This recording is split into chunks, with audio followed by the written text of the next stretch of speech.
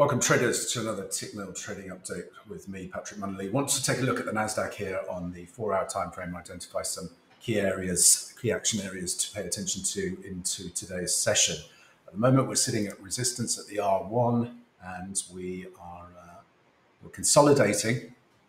Um, and what I'm looking for is any pullback that tests into the value area high here coming in at 11,839. Watch for bullish reversal patterns there to engage on the long side, looking then for a move up to test uh, range resistance into the 12,230 area. Once we get through there, we have daily projected range resistance, 12,370. Again, may see a pause, pull back from there. But ultimately, what we're looking for versus this broader swing structure, we have an ABC equality objective cited at 12,000. 547.